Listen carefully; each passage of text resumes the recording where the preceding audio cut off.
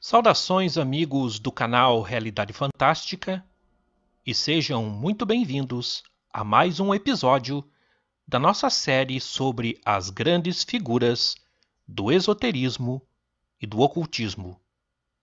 Hoje falaremos sobre Louis-Claude Saint-Martin, o mestre desconhecido. A França dos séculos 17 e 18 foi um palco em ebulição de personagens místicos que influenciaram decisivamente os destinos ocultos da Europa e também do mundo. Foi um período privilegiado de enviados cósmicos destinados a acordar os sonolentos e promover uma maior expansão de consciência. Nomes como Saint-Germain, Franz Mesmer e Alessandro Cagliostro são amplamente conhecidos e reverenciados por místicos no mundo todo. Mas há um mestre desta época, que também atuou na França e que preferiu ficar incógnito durante sua vida, ganhando mais notoriedade apenas após a morte. Ele foi considerado o mais puro, o mais inspirado dos filósofos de sua época. Amava a humanidade e envidou esforços para inspirar os homens a recuperar seus títulos e direitos divinos originais.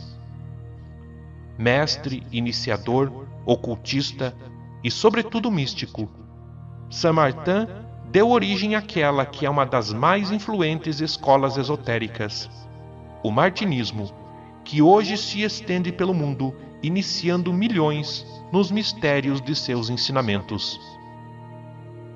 Louis-Claude Saint-Martin nasceu em 1743 na cidade francesa de Amboise, numa família nobre.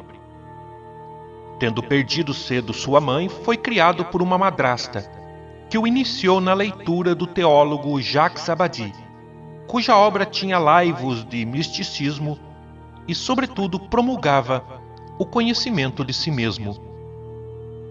Dotado de uma natureza profundamente contemplativa, Saint-Martin aprofundou-se também, durante seu crescimento, na leitura e meditação da obra de Pascal. E com ela concluiu que, havendo um Criador e uma criatura, e nesta uma alma divina, que fazia a criatura participar da realeza de seu Criador, nada mais era necessário para ser sábio. Por insistência do pai, Saint-Martin cursou direito, mas chocado com as artimanhas, trapaças e perturbações mundanas que orbitavam esta profissão, dedicou-se em seu período universitário mais ao estudo de filósofos como Voltaire, Montesquieu e Rousseau.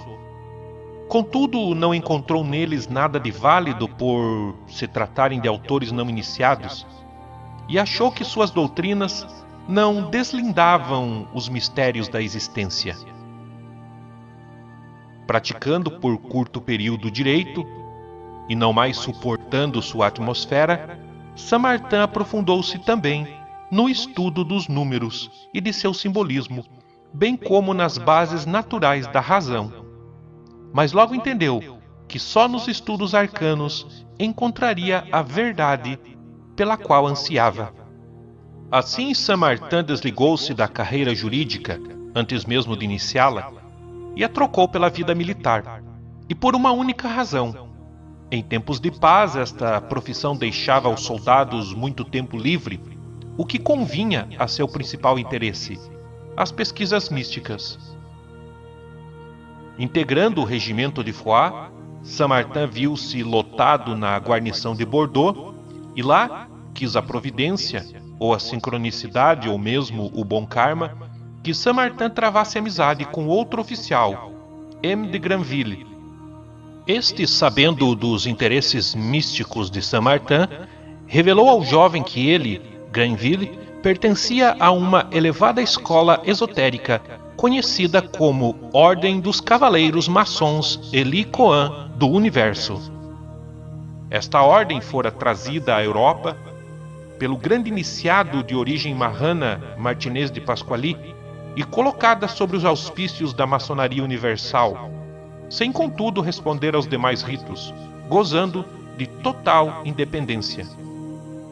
Seu estabelecimento deu-se por volta do ano de 1754.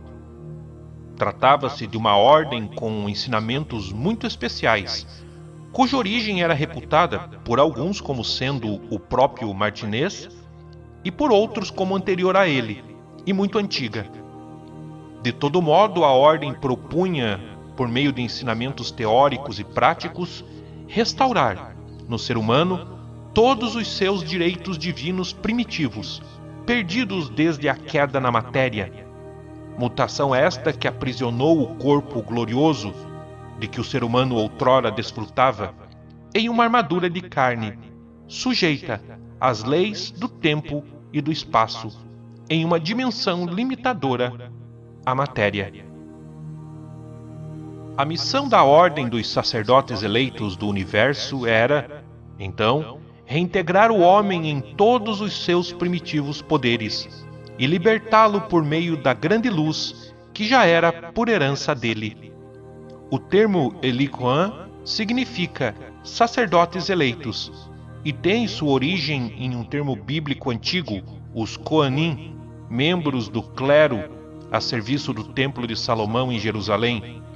Elicoan pode ainda ser interpretado como cavaleiro sacerdote, um cruzado a serviço do bom combate, dentro de si mesmo, destinado a conquistar a Terra Santa da sua própria alma. Como todas as ordens iniciáticas, a ordem dos Elicoan não era religiosa, mas valia-se de um raro misticismo de origem judaico-cristã, praticando uma teurgia cabalística por meio de complexas cerimônias que colocavam seus iniciados em contato com as hostes angélicas, as quais tornavam-se a principal fonte de instrução dos membros. Através de inúmeras purificações pessoais, práticas de virtudes, orações, meditações e estudos, os iniciados eram ainda instruídos no traçado de círculos operativos em momentos astrais propícios, a fim de que um portal cósmico fosse, por correspondência, aberto, para que pudessem se elevar psiquicamente à esfera angélica e receber os ensinamentos diretamente dos anjos. A ordem transmitia ainda uma rica cosmogonia, explicando aos estudantes o porquê da criação, como se dera a emancipação do homem do círculo divino, além da manifestação de demais seres, também partícipes da divindade, como os anjos, e sua função na hierarquia cósmica. Falava ainda do nascimento do mal e de sua constituição ilusória chamando atenção para o triunfo do bem. O Gênesis da Bíblia era compreendido à luz da Cabala e demais doutrinas próprias da ordem, sendo desvelado em seus verdadeiros elementos, proporcionando a sabedoria nele escondida e, portanto, mal interpretada. Enfim, este ramo especial da maçonaria promulgava uma verdadeira teosofia ou sabedoria divina, em contraposição ao filosofismo e o ateísmo que graçavam na época.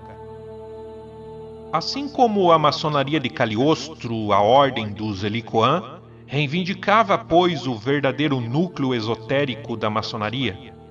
Sob o impulso de seu grão-mestre, Martinez de Pasquali, as lojas desta ordem começaram a se espalhar pela Europa e seu quadro de membros ampliava-se. Entusiasmado com a revelação de Granville, logo Saint-Martin bateu nos portais do templo e foi aceito por Martinez de Pasquali. A afeição mútua foi tão grande que Pasquali fez de Saint-Martin seu secretário particular.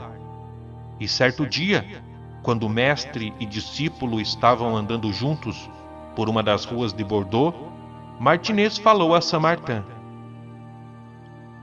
Contempla todas estas pessoas. Não sabem por que caminham, mas tu saberás. Nesta época, Saint-Martin tinha pouco mais de 20 anos e era um iniciante no estudo do ocultismo, mas prometia muito, o que não deixou de ser observado pelo grão-mestre. E tanto era verdade que o progresso de Saint-Martin na ordem foi rápido. No final de 1768, Saint-Martin recebeu, de uma só vez, os três graus iniciais do Zelicoan, prática pouco comum, e pela espada de Balzac, avô do romancista Honoré de Balzac, que era um iniciado na ordem. E atingiu, após anos de perseverantes estudos, o último grau da ordem, que tinha o título de Rocoa, tornando-se um líder no meio dos martinesistas. Em 1772, contudo, sem aviso prévio e sem explicar sua motivação, o grão-mestre Martinez de Pasquali partiu em missão para a ilha de São Domingos, no Haiti, e lá subitamente faleceu, ou como é chamado na terminologia maçônica, passou ao Oriente Eterno. Pegos de surpresa, Samartã e seus condiscípulos decidem pela continuidade da ordem dos Helicoan. Algum tempo depois, contudo, Samartã Observando que a ordem estava em excelentes mãos sob a liderança de seu condiscípulo e grande iniciado Jean-Baptiste Villermons, decidiu seguir um caminho próprio. Saint-Martin amava e admirava seu primeiro mestre Martinez, mas seu coração ansiava por mais conhecimentos, através de um método que fosse menos complexo e mais condizente com sua natureza íntima. Assim, fez uma série de viagens pela Europa, entrando em relação com muitos místicos. Durante elas, dedicou-se, com todas as forças, a combater a doutrina materialista dos enciclopedistas e a visão superficial da ciência, a qual, segundo ele, se atinha apenas à análise indutiva e fragmentária dos fenômenos externos e das leis secundárias não se levando às causas ativas, onde as leis primárias poderiam ser conhecidas de um modo abarcante e inclusivo. Foi no ano de 1788 que deu-se outro acontecimento decisivo na vida de Saint-Martin. Ele encontrou seu segundo mestre, ainda que póstumo, aquele que iria dar rumo definitivo ao seu caminho e consolidar sua jornada iniciática. Saint-Martin conheceu, por meio de seu amigo, um grande místico, Rodolphe de Salzmann, as obras de Jacob Boehme, o teósofo teutônico. Boehme vivera quase dois séculos antes de Saint-Martin e se destacara por ter proposto uma filosofia profundamente mística através de uma série de iluminações que recebera ao longo da vida. Muito associado aos Rosacruzes, Boehme tornou-se o guia místico de toda uma geração.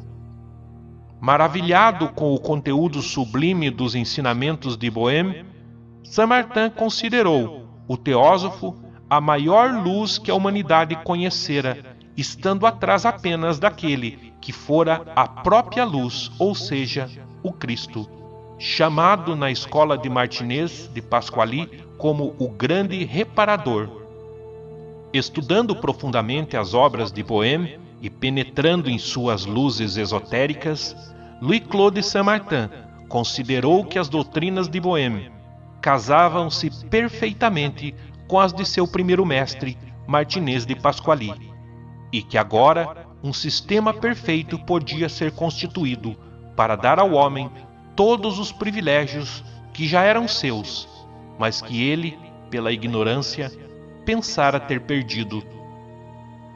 Constituía-se assim, pelas mãos de Saint Martin, um caminho capaz de levar o ser humano à iluminação, uma senda que, dispensando a complexidade das cerimônias teúrgicas da sua primeira escola, se concentrava principalmente no que Saint-Martin chamou de senda cardíaca, ou seja, no mergulho ativo no interior de si mesmo, produzindo uma alquimia que dissolveria o velho homem na luz de um novo homem, doravante conhecido como homem-espírito, um iluminado. Ocultando-se sob o pseudônimo de filósofo desconhecido, Samartin passou a lançar obras que abalaram profundamente os leitores em toda a Europa, gerando uma onda de entusiasmo por seus ensinamentos. Das cidades de Toulouse, Versalhes, Lyon, Estrasburgo, Amboise e Paris, Saint-Martin conclamava seus leitores a deixarem de ser homens da torrente, cegos andarilhos do mundo, e se tornarem homens de desejo, buscadores ferventes da mística interior, para que, finalmente, após um trabalho especial, se convertessem em homens espírito, ou seja, iluminados. O método para isso mesclava os conhecimentos da escola de Martinez de Pasquali com os de Jacob Boehme. Por meio de seus ensinamentos, Samartin divulgava também a existência do Liber Aca, o livro do homem, na qual tudo e todas as coisas estavam escritas. A posse, a leitura e a compreensão deste livro tornavam qualquer ser humano livre para sempre.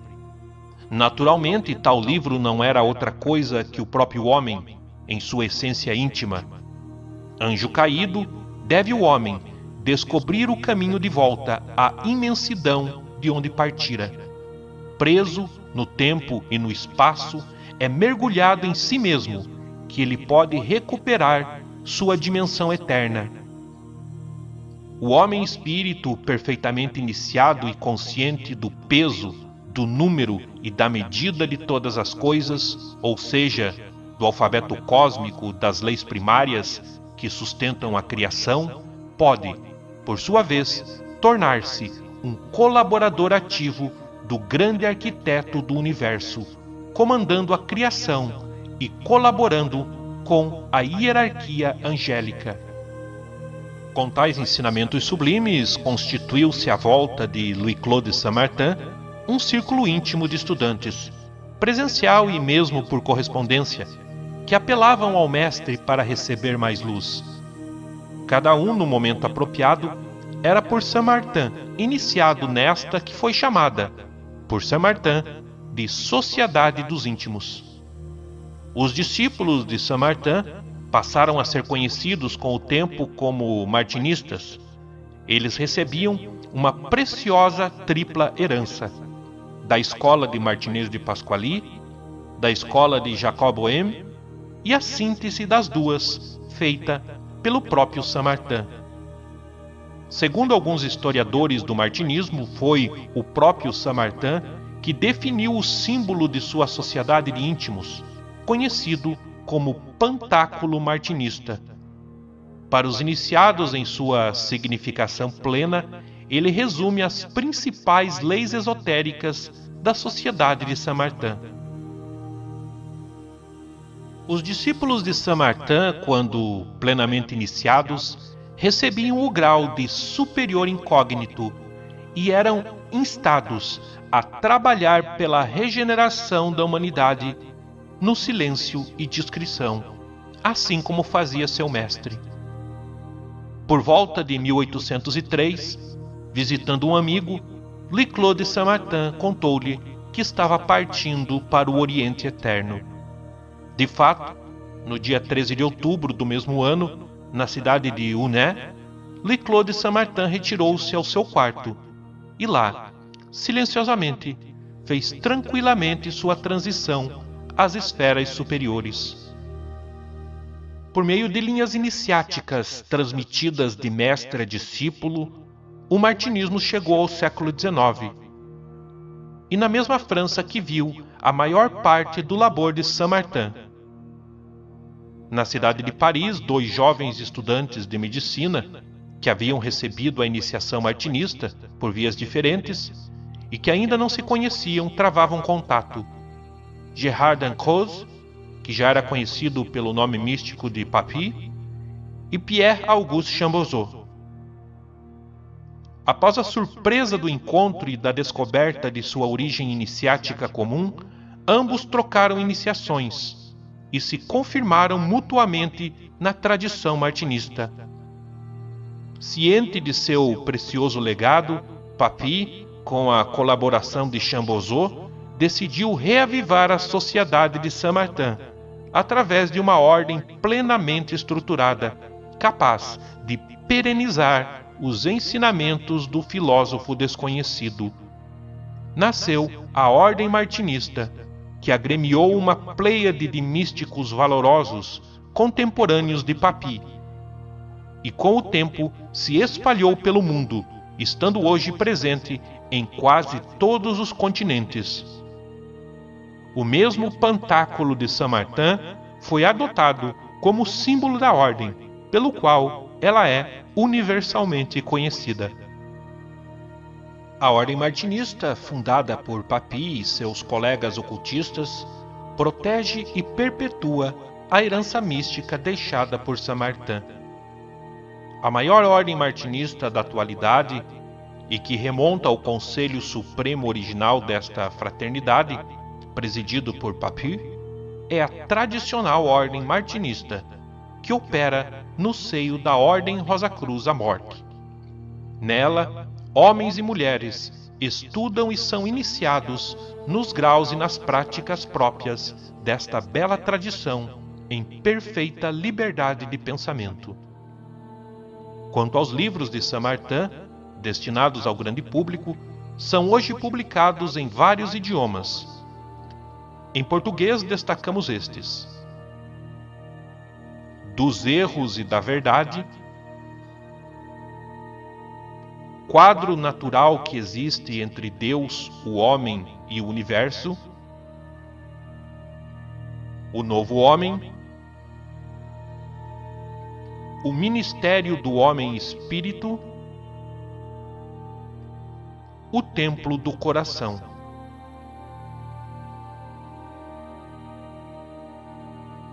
Profundas e luminosas estas obras trazem um apanhado dos ensinamentos místicos de Saint-Martin e de Martinez de Pasquali, constituindo-se num verdadeiro tesouro iniciático. São publicadas no Brasil pela tradicional ordem martinista por meio da editora da Amorc. Podem ser conseguidas diretamente na grande loja da Amorc, em Curitiba, e em seus organismos afiliados espalhados pelo Brasil, ou pelo site da organização. Samartin disse certa vez que todos os místicos falavam a mesma língua, porque vêm do mesmo país. Acrescentou ainda, resumindo sua missão: Desejei fazer o bem, mas sem fazer barulho, pois senti que o barulho não fazia bem e que o bem não fazia barulho. Louis-Claude Saint-Martin é hoje amado por milhões de martinistas que, profundamente gratos, veem nele o iniciado perfeito, um verdadeiro superior incógnito que, como outros, esteve na terra para iluminar os homens, seus irmãos. Em sua memória e para encerrar este documentário, consignamos aqui um trecho de seus escritos, onde Saint-Martin resumiu poeticamente a condição do homem da torrente, aquele que não conhece a si mesmo, bem como exaltou a alegria de todos que descobrem o segredo de sua verdadeira origem.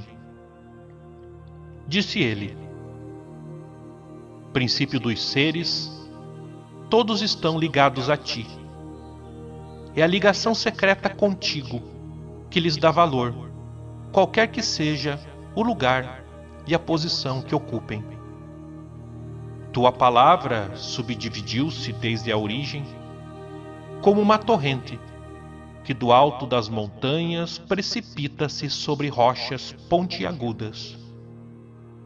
Assim, todos os raios de tua palavra fazem brilhar aos olhos do sábio tua luz viva e sagrada.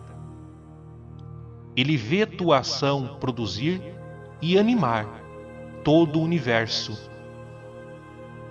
Objetos sublimes de meus cânticos, serei muitas vezes forçado a desviar de vós o meu olhar.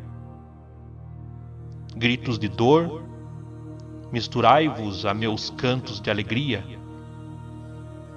Provas irrefutáveis sobre as verdades primeiras já não foram manifestadas às nações?